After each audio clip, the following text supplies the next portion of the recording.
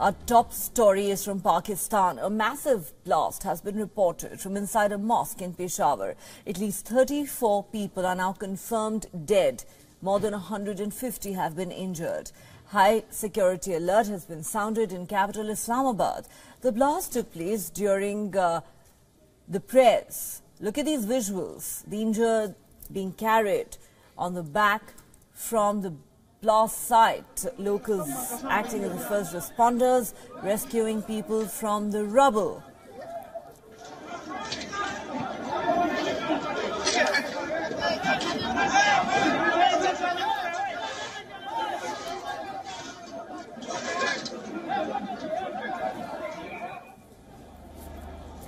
The police reached the spot soon, uh, helping the injured. Uh, there were many ambulances on the scene carrying victims to different hospitals.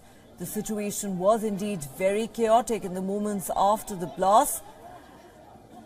In fact, the mosque where the blast occurred is in shambles. One side of the building completely collapsed.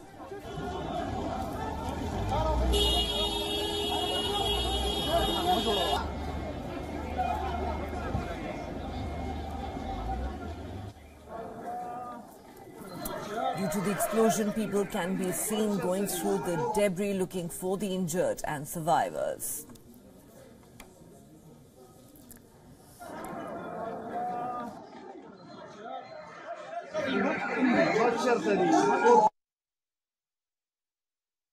I did not see any dead bodies. We took out the injured and sent them to the hospital. The dead bodies should all be inside the mosque, buried under the rubble. Meanwhile, sniper shooters have been deployed at sensitive areas, including ports and other important buildings.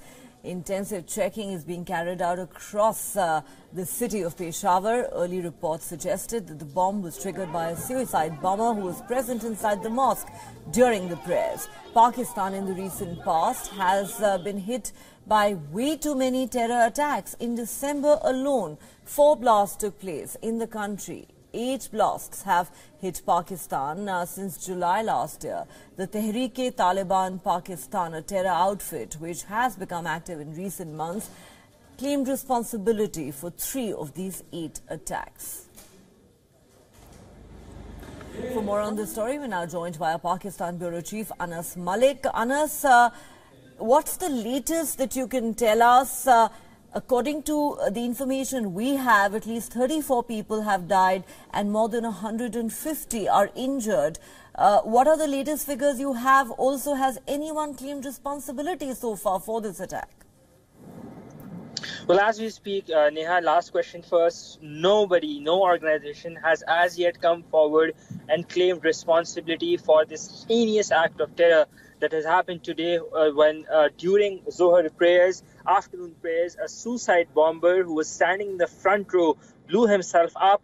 Uh, and that has uh, resulted in the loss of lives of at least 34 people and over 150 are injured. Uh, the the this is absolute carnage. The gravity is as such. It's so big that the Prime Minister of Pakistan, Shehbaz Sharif, eh, as I talk to you, he is currently in Peshawar. He's there personally because this is the worst terror attack that the, province of KP has witnessed in uh, in a year's time. The last time we saw, we saw something like that was uh, during uh, Easter last year in 2022, where about 32 people had lost their lives and, uh, and over 80 were injured.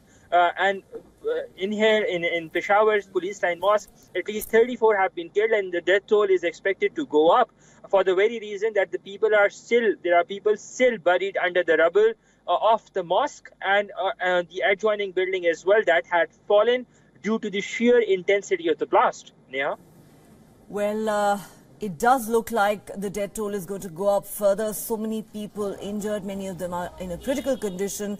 Our thoughts and prayers, Anas, are with the victims of this terror attack. Thank you very much for getting us all those details.